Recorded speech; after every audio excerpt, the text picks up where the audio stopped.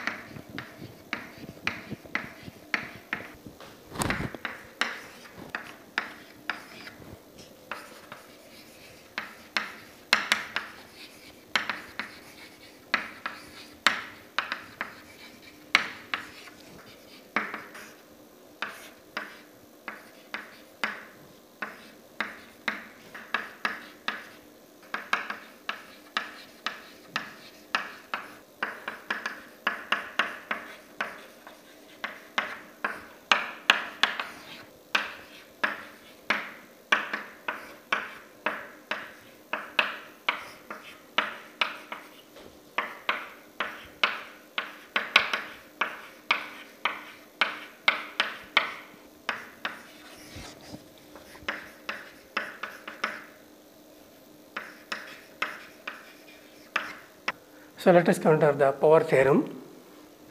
So the power theorem says that the total power radiated from an antenna element is represented by W. W is equal to a sur- surface integral of the power radiated into a ds, a small area. Here, so whatever the ds is there, so ds is a small area and p is your Poynting vector or the power density. So in order to understand this, let us consider this particular diagram. So this is x, y and z. Okay, here we have the three components. So whatever your power uh, is radiated from the antenna, so it is in the vertical direction and it is also in the horizontal directions. Now, so the vertical component is represented by theta and the horizontal component is represented by phi and the radius that is the antenna region is represented by r. So that is, so at any uh, point in the space, so the power radiated from the antenna is the function of three component r, theta and the pi. r is the radius, theta is the vertical component and phi is the horizontal component. And the vectors corresponding to this r, theta and phi as represented here, a theta, okay, ar and a phi. So a theta is a uh, vector corresponding to theta, ar is a vector corresponding to uh, the r and a phi is a vector corresponding to the phi. Now, here a small area ds have been shown. So, the same diagram, so once again represented here. So, as usual z axis, y axis and x axis and here you have the theta component and here you have the pi component. Now, here we are considering a small area ds. So, this is a small area through which how much amount of the power is flowing we are calculating. And for this particular purposes, for the theta component is considered in the vertical directions, you write it as r into d theta. For the horizontal component is considered that is phi. So we have r sin theta and r sin theta into d phi.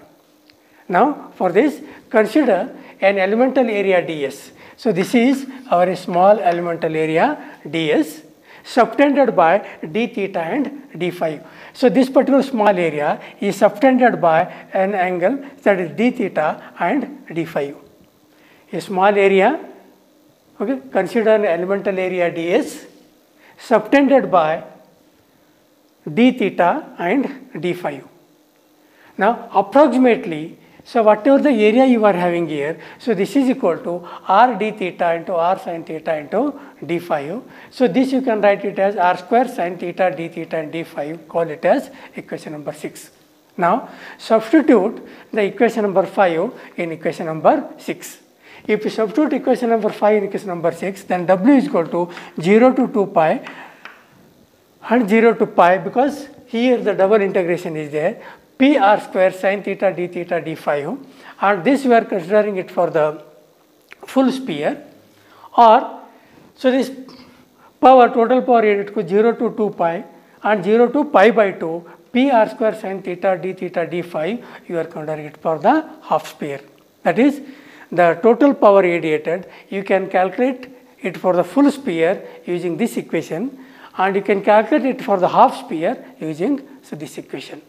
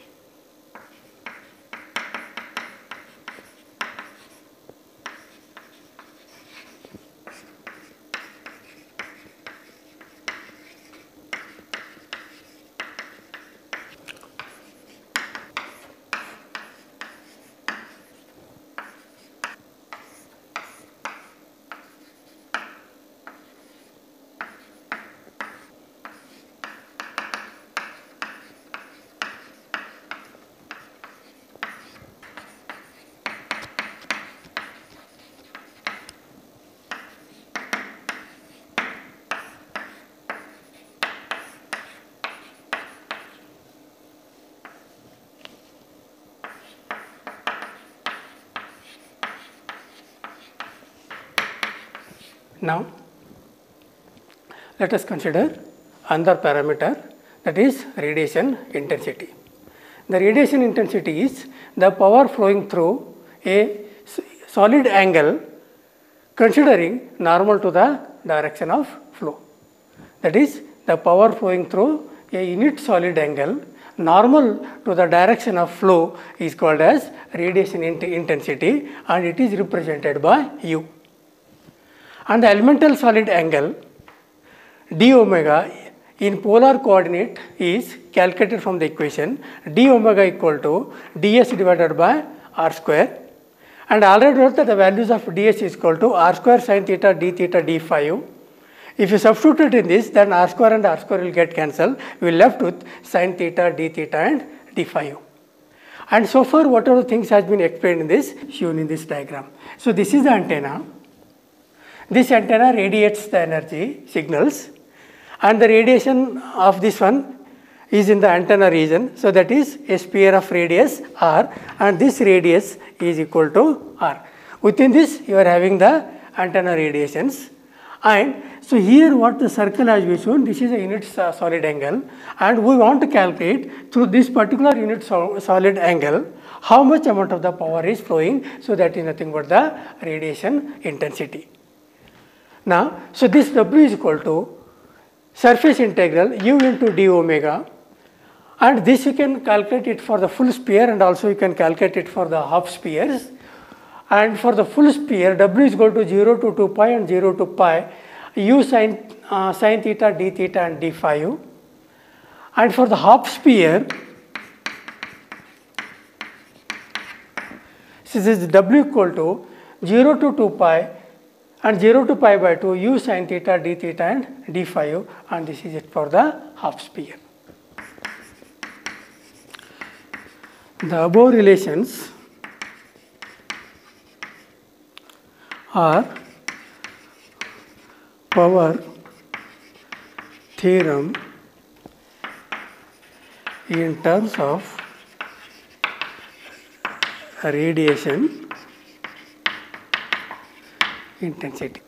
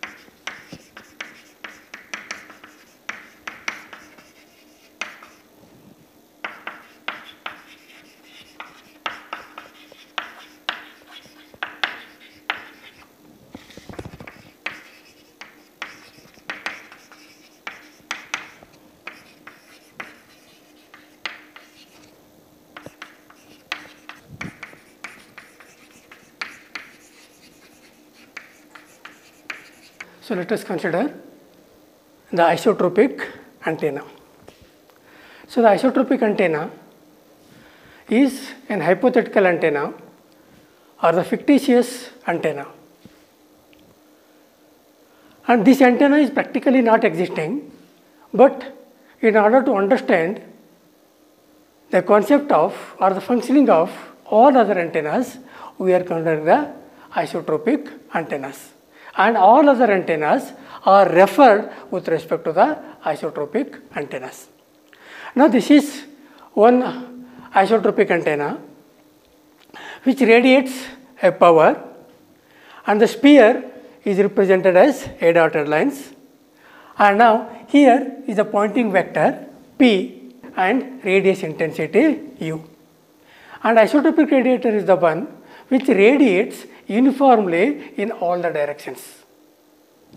Now, so the power radiated from this particular antenna that is the power radiated from this isotropic radiator or the isotropic antenna. Sometimes it is also called as isotropic radiator.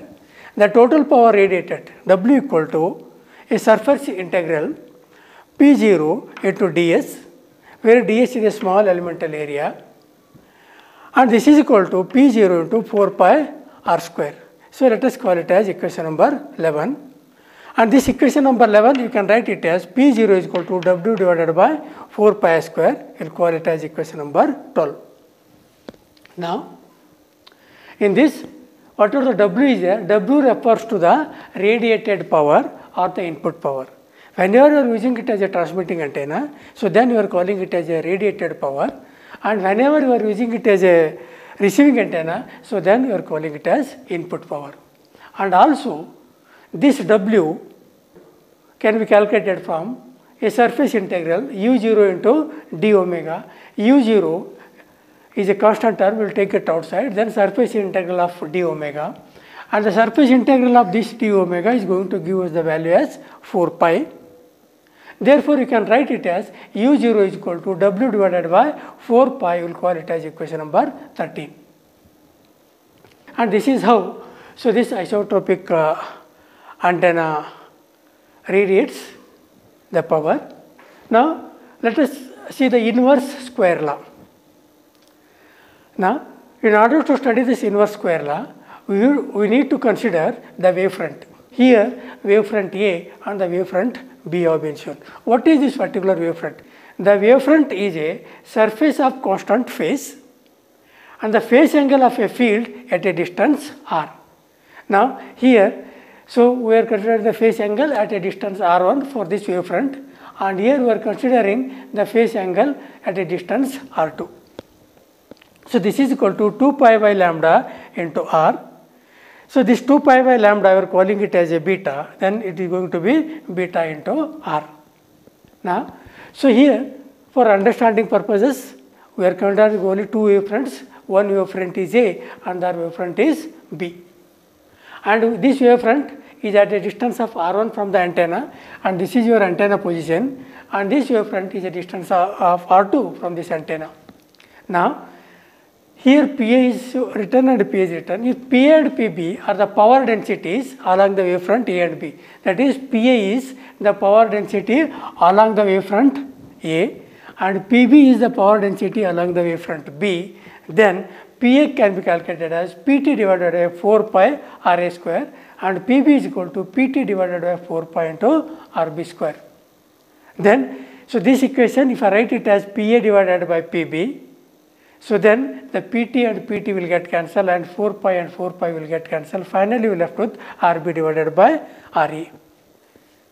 What this is indicating that so, whatever is power density is there, power density is inversely proportional to the distance referred to as inverse square law.